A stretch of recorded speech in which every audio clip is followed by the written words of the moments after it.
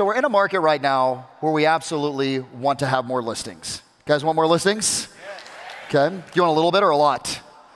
A lot. And we're also in a market where taking listings has become somewhat more challenging than it has been in the past. And clearly, the woman that I'm going to bring up next, I'm going to just say one number 98%. Everyone just say it for me. Ready? One, two, three. Turn to your partner and say it to them. Ready? One, two, three. Look up here. Tell me one more time. One, two, three. She has a 98% closing ratio on her listing presentation. Now, that isn't, hold on. I mean, she goes on 100 listings and she takes 98 of them. And this isn't just with like her mom and the person who cuts her hair and her sister and her aunt and her uncle. These are with people that don't even know her. So I want you to imagine for a second what your business would experience if you had a 98% closing ratio on your listing presentation. Would you guys love that? Okay, so we're going tactical. We're going like inspired over the last two, and now straight tactics on 98%. So, can we clap it up for Miss Eileen Machine Rivera?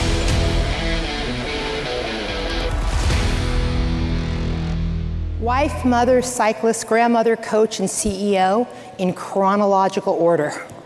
Okay, that's just, you know, um, I thought I knew a lot of you, but I'm looking at this room and I don't know a lot of you. So, hi. Welcome. That's a little bit about me. Um, about six or seven years ago, I was behind the stage at another event with Tom, and I was talking to him about my conversion rate. I was really, I was so proud of myself, and I'm standing back there with Tom, and I said, I've tracked the last 26 listing appointments I went on. Now, by the way, that was over the course of a year. It was the previous 12 months. I tracked 26 of them, and I listed 24. Am I hot stuff or what, right? I'm telling him that backstage. And with that warm smile that we're all familiar with, and you know, his hand on my arm, he looks at me, he says, I am so proud of you. That's really good. And guess what? You're not going on enough listing appointments right? And it's your mother and the hairdresser and the friend from church and the kid from school and things like that. And it's like, okay, how, how does this man like build me up and then humble me, like right in the same 30 seconds? It's very effective for me. Over the course of the next couple of years, didn't, didn't happen in six months, I was meticulous about tracking my listing numbers. And you got the art and science of the listing presentation, right? You know that's what we're going to talk about? No? Okay.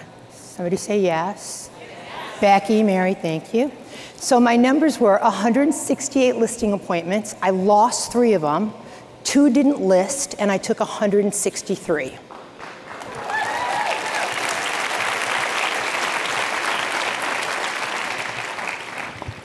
I find that most people in this room, to improve their listing presentation, have to learn one of two things. They either have to learn to master the science of the listing presentation, or they have to get better at the art of it. I, those of you who know me know this, like, I'm a total artist, right? So I had to get better at the discipline and the mechanics and the data and how I presented. Some of you would benefit from getting a little bit better at the art right? So we, we all tend to have one strength or the other. Um, my goal at the listing presentation within the first 10 minutes or so is to tell them a little bit about myself, to articulate why I'm here, and to create some credibility. So I have to ask you, did I do that with you in my first three slides? I mean, it wasn't an accident, right? You guys, so think about it. I, I told you that I'm a grandma and all these other wonderful things. I told you my listing ratios. I told you why we're here. So one of the things, here's a, here's a great, great tip. It will help you so much all week while you're here. In addition to the content that Tom and Bill deliver and all of the other speakers, pay attention to how they do it. Pay attention to how they present, because we're selling coaching, you know that, right? Right? We're, I, I mean, we're selling coaching. To me, it's just a different kind of presentation. It's just a different listing presentation. And I don't know anybody better. And I just saw Josh somewhere. Where did I catch your face? Josh Rubin. There he is right there. Great listing agents. Lots of other friends in the audience that are great listing agents. I don't think anybody's better than Tom. We should all be glad he's teaching us and not selling. Okay, so, so pay, pay attention to that. How is your opening on your listing presentation? There is no, no excuse that anyone in this room cannot master the science of the listing presentation. Okay, so to master the science, you, you need to have structure and you need to perfect that structure for you. So, so what's expert? Okay, so expert. Me, so setting the stage. This is a structure you need for a listing presentation. You need to know how to set the stage. What does that mean? From the moment you walk in the door to when you sit the table to how you tour the house, those are all things you have to figure out how to engage that consumer, right? How to start connecting. And you have to have more than one way to do it. I have, and my coaching clients know this, I have a list of hundreds and hundreds of questions. Right? So to me, questions are critical because that's where you that's where you collect information on how they feel, what they want, what they expect, who else they're talking to, right? We may not be the only one. Questions are critical. Marketing. Please do not talk about your marketing at a listing presentation. Can, can you show them your marketing? Right? I, I've seen it happen over and over again. Oh, and I'm going to do this, and I'm going to do that. Or, um, oh, I put out a video for 123 uh, Main Street and it had 19,000 views. Are you seriously telling them that instead of showing them that? See, I, I, I get into the art, I can't help it. Um, CMA, for a, lot of, for a lot of sellers at any price point, the way some of us present the CMA is very overwhelming you better break that stuff down. You better know how to present it depending on, you know, on the person's um, experience in selling real estate. Testimonials, recap, close, these are the basics. Master them, they're not hard. You have all the tools.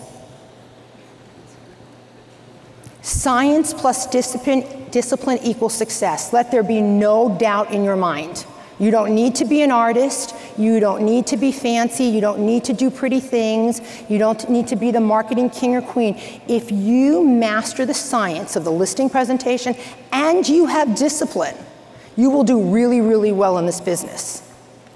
Again, it's because I, I, think he's, he's doing me a favor. I asked Josh to sit close so I could see him. My, my, my dear friend and fellow New Yorker. Um, I like razzing him. I'm, I'm not going to get into his numbers, but my conversion rate is way better than his. is way better than his. But guess what? He did 5.5 million last year. Way better than I did. okay? So it's, you know, he's mastered, Josh has mastered discipline, Josh has mastered the science. Some of us keep trying to sprinkle a little artistry on him, but he doesn't need it. I also am going to razz him in front of thousands of people and say he's kind of behind on his goal this year. Probably going to get in trouble. Tom's his coach, in case you don't know that. He's a little behind. Then again, his goal is $11 million this year, and he's not that behind, right? So again, he is my, he is my poster child for science and discipline. You decide. You decide how you want to do, how, how you want to build your business, how you want to build your bank account. One of my favorite quotes ever, and I think it applies to this process, is master the rules like a pro so you can break them like an artist. Master the rules like a pro so you can break them like an artist. Too often, we try and break them before we've mastered them right? So when, when we as a company, when we as, as friends and colleagues talk about objection handling and sales edge and role playing and accountability, that's mastering the science. Don't dismiss it. Don't dismiss it. It's got it's an incredible, incredible payoff when you do that. But now, now we get to talk about my favorite part, the art the art of the listing presentation. I, as a coach, I've had the great honor to see hundreds of listing presentations. And here's a glimpse of a few of them. Um, all dear friends, dear friends, coaching client, clients, Nazar and Sergio and Mary and Glenda. I mean, I've seen all of these listing presentations, and while they're beautiful books, like if you could sit here and just fan through the pages, beautiful, beautiful presentation, and it touches on a lot of keys of the science of the process, right? They have their testimonials in there, they all have track record in there, they have examples in there. But as their coach, as their friend, I can tell you that all of those people, their conversion rate is what it is because of the art of the listing presentation. Because artists attract artists. So, hence they coach with me. um, the master has failed more times than the amateur has even tried. Please don't ever, and, and you'll hear that You'll hear that from the men and women sitting next to you. You'll hear it from Tom. You'll hear it from the stage. Don't ever, ever be embarrassed by any failure that you've had. Like, like check that, because I, I don't know anyone that hasn't had some, right? So just keep trying. Again, back to many of you and Mr. Rubin, I think of him with this science plus art equals conversion. I'm going to razz him a little bit to like add a little bit of art, and prove that crappy conversion of his. 5.5 million. Don't let him throw anything at me, okay? Okay, so this is for me, this is what I teach my team, who all list. This is what I've taught a lot of my coaching clients. This next slide is probably one of my favorites because it's where science meets artistry. So these are literally um, like flashcards that you use with your third grader that I use to practice the listing presentation. Because while it's all the components, the point of me showing it to you in this manner is the artistry is when pick any card, and if that's where your prospect starts, that's where you meet them. You don't become so rigid that it's, oh, we'll get to that, or you put them off. Oh, I'm gonna go over everything right? The artistry is the ability to meet someone where they are and then take the lead, right? Don't just be connected to your process, no matter how good it is. More artistry. Open with a close. Rapport, mastering the disc, showing them, don't tell them, pace and pattern interrupt. Let me tell you about all of these. Real quick, open with a close. You should, you should all, everyone sitting here that goes on listing appointments should write six of their own custom sentences of open with a close. My favorite example is uh, uh, my team, my admin, you know, we schedule a listing appointment, it's actually someone I've never met. Maybe I make a confirmation call, maybe not, but I have no inherent advantage. And they open the door, and I, as I'm extending my hand, hi, Debbie, thank you so much for having me over. And they're greeting me, and I say, Debbie, I'm so excited about selling your home. Should we sign the contract, or would you like to show me the house first? It's, it's silly, it's fun, it's disarming. In and, the, and guess what?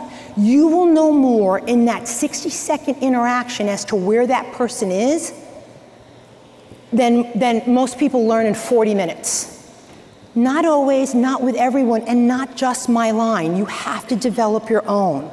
Rapport. Um, I, I know you all know the implications and the value of rapport. I would suggest that you study it, that you dive into it more, that you practice it. I remember, gosh, probably 15 years ago, working with, um, with who was my long, many, many, many year coach, Debbie Holloway we would go out for lunch at an event and she'd have me practice with the waiter or the waitress because the very, very basics of rapport building, very basics, if you never do anything else, is rate of speech and volume. And as a very loud, fast talking New Yorker, Debbie had to work with me for years, right? To slow down, to slow down, not be too loud, not be too fast, now, when I'm with my people, it works really well, right? Then it's just really natural.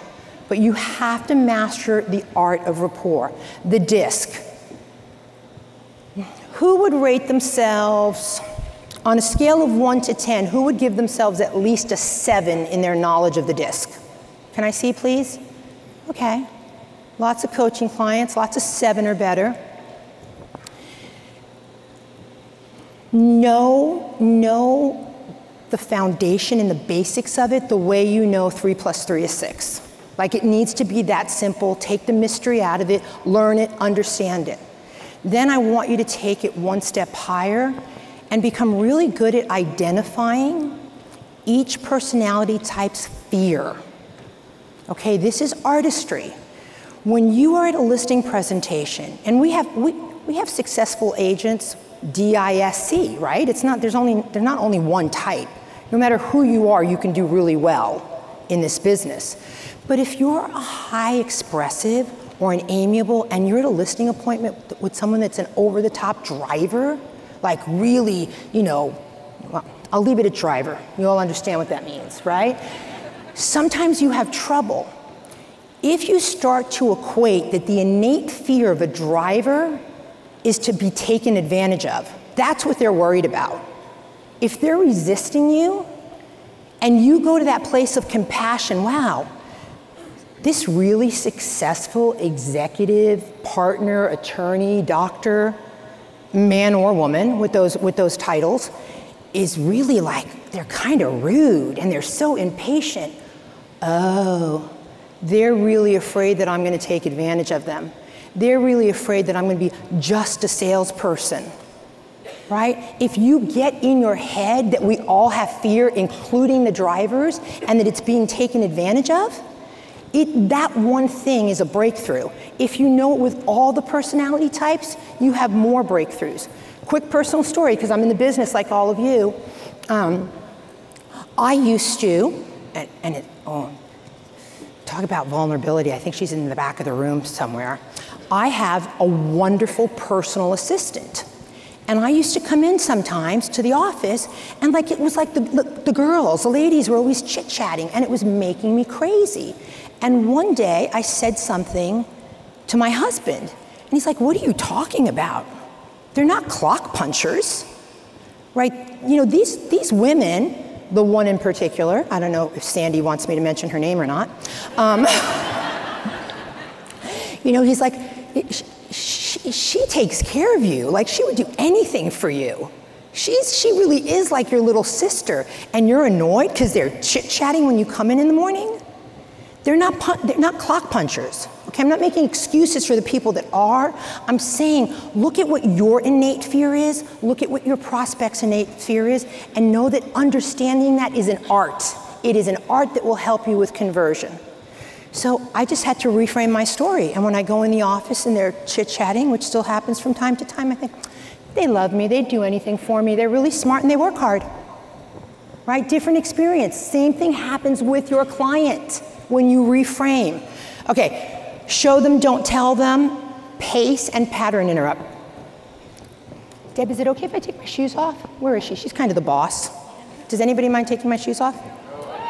Okay, all right, thank you. Thank you, everybody. All right, so tell them, don't show them.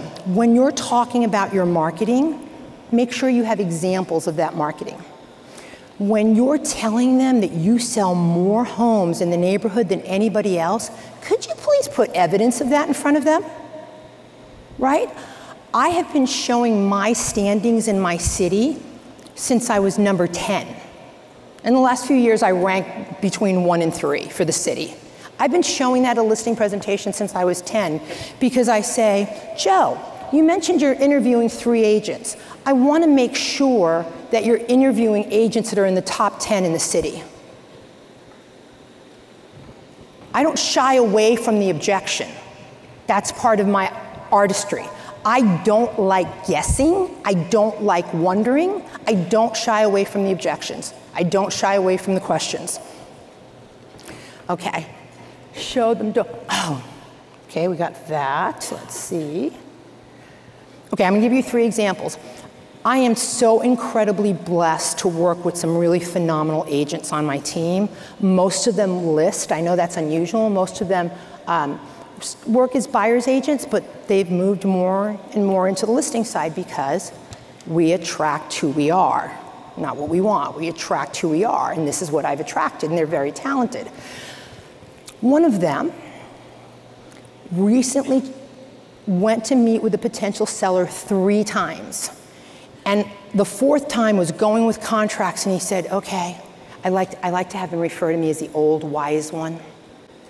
So he's like, okay, I need that old wise one thing. You know, I think it's going to make the difference. Can you come with me? And I went, and we get to the door, and this gentleman opens the door. And we had an expectation of taking a listing. You know, he just he wanted some backup, and that's what teams do. And he opened the door, and Zach is introducing me. And again, like I start, you know, the hand right at the door, and I kicked my shoes off. That's what made me think of the shoes. I kicked my shoes off, and Zach went, Oh, I'm sorry. Do you want me to take my shoes off? And the seller, that was his fourth time there. And the seller said, Oh, sure, that'd be great. I noticed that he had slippers on. He's Japanese. He has a pile of shoes at the front door. I didn't wait to be invited into rapport, I created rapport. Okay, the art, the art of the listing appointment. Another agent on my team, Nikki, same scenario, you know, chasing, chasing, calls me in.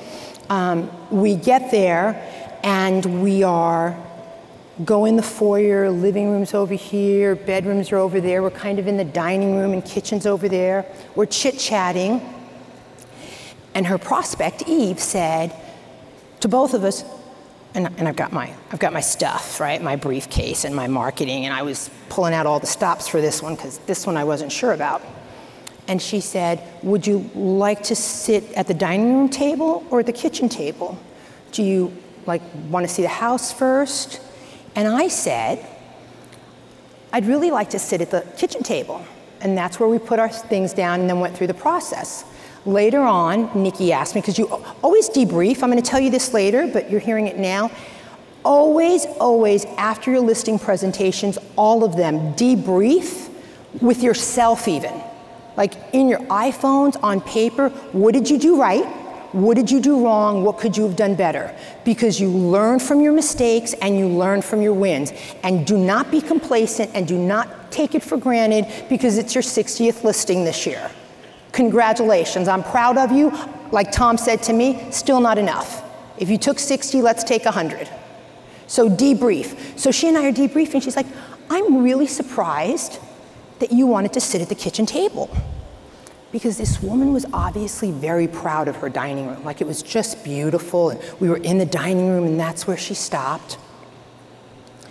But I know from 23 years of experience, and because I'm an artist, that company sits at the dining room and family sits at the kitchen table. And there was no question that the intimacy, intimacy that, that was created and the rapport building that was created because there was four of us at a little round table absolutely helped us leave with a, with a signed listing that day.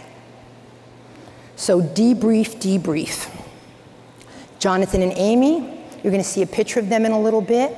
I went and met with them at a list to, listing that oh, we think we're ready to list our house. We, you, you see your signs, blah, blah, blah. And I get there and I start doing my thing, right? Like I'm the authority, I know what's best, I'm gonna protect you. So we're talking about the two college kids who are getting ready to leave, how their stuff needs to be boxed up, how things need to be thinned out.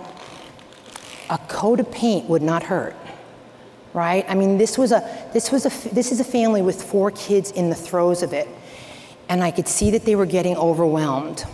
And I backed off and I said, Tell me what you want. Ideally, how would the situation happen? And they asked about the market, and we decided we'd wait till September. This was back in May or June, because they just, it was too overwhelming for them. I'm not that person. As, as much as I'm proud of my ratios, it's not about me. It's not about me, it's about the client, what they need. I'm the expert in what we do. I didn't push for a contract. Okay? It worked out. Right? It worked out. They wound up doing business with us, but in that moment, that, that wasn't the thing to do. Um, if you'd like, I'll ask Tom if we can put these up on the pages. These are my worksheets that I do for the disc, right? We're still, I'm still going through all those bullet points. If you'd like them, I'll ask him if we can post them. The best,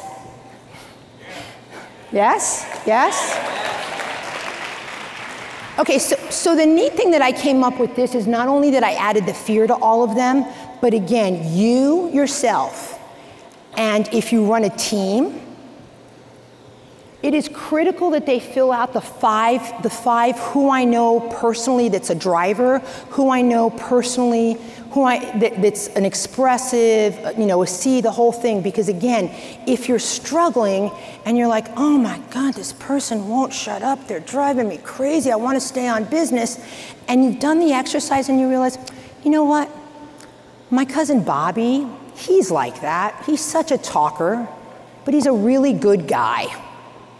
And he, and he would trust me, and this person's gonna trust me, right? So again, you have to reframe. You do not realize how often you're in judgment when it comes to resistance and personalities.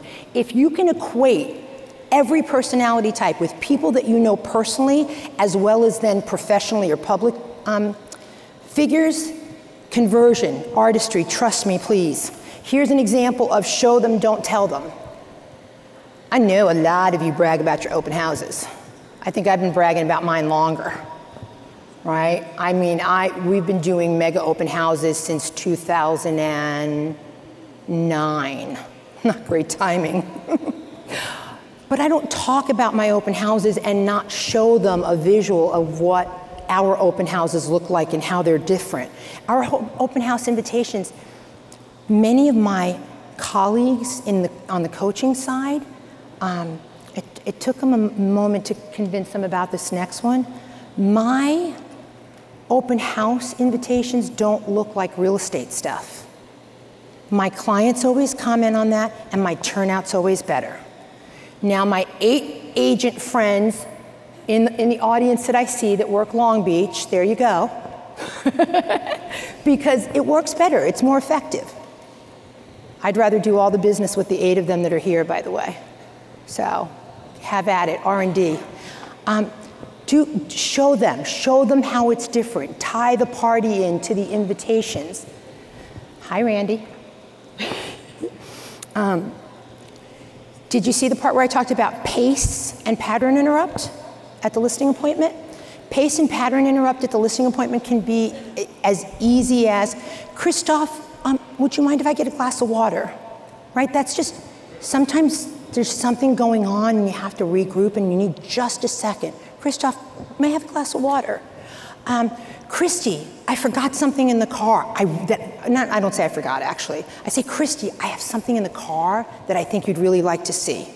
Again, you have to make up your own, but pacing a listing appointment, sometimes it's pacing it to shorten it, sometimes it's pacing it, oh, I'm getting flashed at, who's surprised? um, for a pattern interrupt. So am I taking my shoes off? And this fabulous photo is my pattern interrupt. Those are, those are my nine grandkids. Okay, I know they're gonna give me three more minutes, so now I got, now I got to get the New Yorker out, so hope it works. Exceed expectations, figure out what that means. That one's, you know, it's pay attention to your clients and exceed ex expectation. Burden of responsibility for me is huge. I have people in this room that have said to me, I, I lost a listing over price. This is where artistry comes in, okay? Your burden of responsibility is to do what you say you're gonna do, to be able to help them interpret the data you put in front of them, to be a local expert, to know how to prep a home for sale, your burden of responsibility is all of those things, and I expect anyone associated with us to execute on them perfectly, right? But do you think you decide the price of the house that you're going to list it for? Because I've got news for you it's not your house. It's not, that's not your decision. You can advise, but please never, never lose another listing over price. That burden is on the seller. And if you incorporate the artistry with the science, you will never lose one again for that reason. IUE. I teach my team all the time. Use the word I when you're taking responsibility. If it's a call and I say, James, I'm so sorry, I'm running about 10 minutes late. Okay? You, it's like, oh my gosh, Lori, you did such a great job prepping the house. And we is when you're leading. It's a very small subtlety. If you incorporate it again, it's the artistry, right? Think about true great art. It's the shading, right? It's the nuances. Um, buyer profiling and behavioral economics. Uh, raise your hands if you feel that you articulate that well at the listing appointment. Okay, so there you go. Guess what? You, uh, uh, one more time.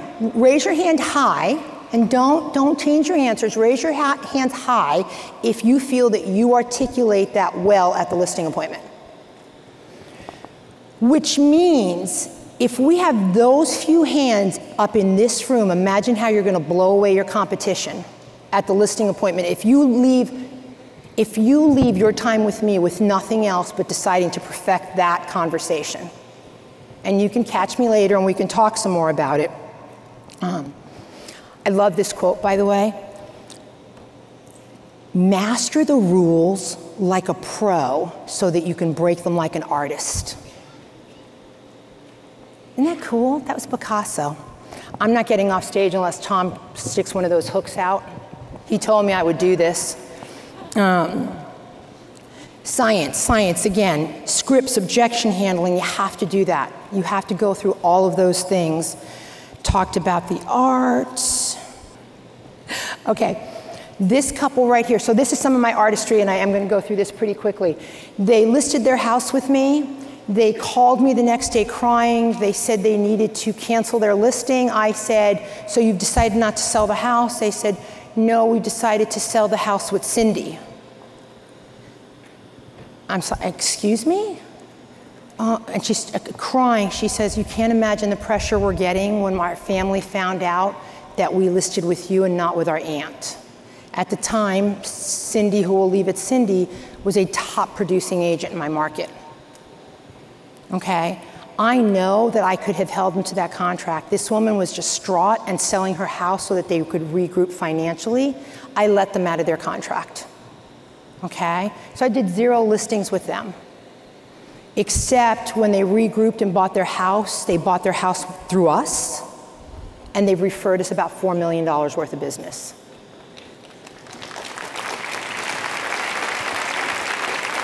So sometimes the artistry is just doing the right thing, right? Don't let anybody hold you hostage. Don't roll, you know, don't roll over. Don't be weak. But sometimes it's just the right thing.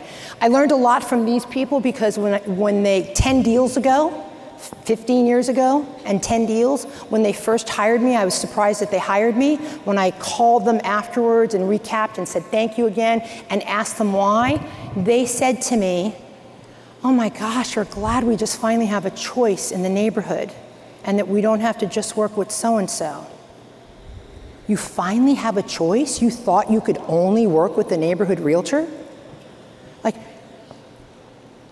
he's a CPA, she's a CFO. If you don't ask the questions, if you don't learn from your wins, just like you learn from your losses, you're missing an opportunity. We've since done 10 transactions with them. Science plus art plus discipline equals security with that big dollar sign. So go for all three. Another case study. Um, young man on the right, Danny, love him dearly, knew him since he was in grade school, um, bought his first condo with a member of my team, someone who's very close to me then called me to sell his condo because he had met Greg and was going to move into Greg's condo. Then we sold Greg's condo and so on and so on and so on. We've closed eight transactions with these gentlemen. Um, and Danny just got his license and is joining my team. So, so pretty cool. So here's the couple artistry. N- yes, no, not now, maybe. They were so nice, but they, I could I wasn't going to be the one to put pressure on them. Okay, I couldn't do it. But at Danny and Greg's last listing that we sold, we had 220 people come through that weekend. We had, I don't know, 10, 11 offers. It's been a couple months now. And I met somebody that I thought would be the perfect buyers for these people's house, the ones that didn't want to have to paint and pack and worry about the kids in school. So I went back to them and I said,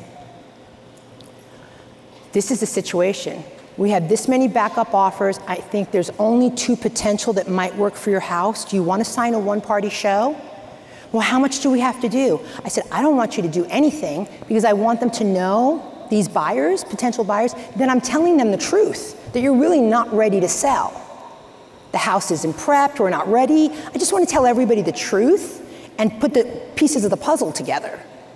So the house was a mess, the dogs were everywhere, the kids were everywhere. They wrote a full price top, I mean, on, on, on their property. So we did wind up listing their house, selling their house, even though 10 days earlier they were unsure.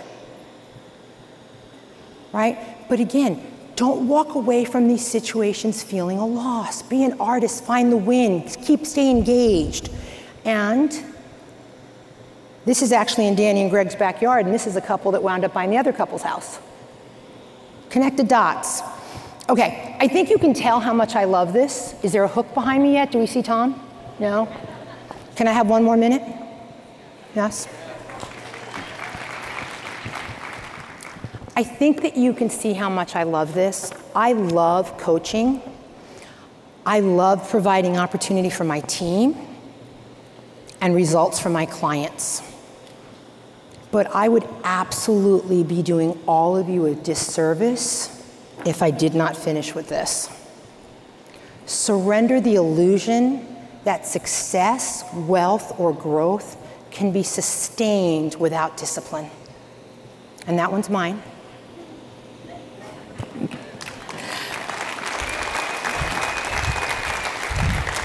And we all know, again, it could be you, it could be the person next to you. In this business, we can achieve all of that without discipline. We can get lucky, we can be in the right market, we can be on fire, one thing leads to another, but you can't sustain it without the discipline. So I love my artistry, it's who I am.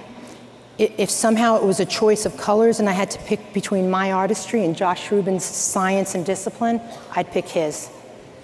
Wonderfully, Fortunately, we don't have to pick. We can cultivate both. Thank you.